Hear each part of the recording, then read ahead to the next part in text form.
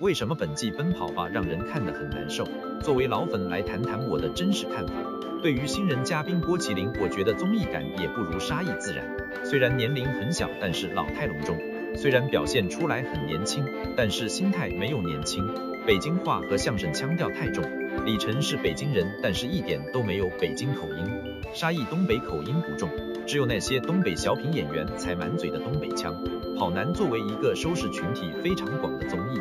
我觉得东北话或者北京话这种带着强烈德语标签的口音，不适合所有省份的人观看，又不是春晚一年就一次，所以这一点也让很多观众看得难受。两期节目看下来，我觉得除了有沙溢镜头的时候有点喜感，其他的嘉宾真没多少搞笑的地方。李晨、B A B Y、蔡徐坤这三人，我觉得已经不适合综艺常驻了，他们的综艺效果现在一点也不好，并且不知道大家发现没，现在像奔跑吧。极限挑战这样的节目完全成了粉丝追星节目，这档节目的蔡徐坤和极限挑战的邓伦都是如此。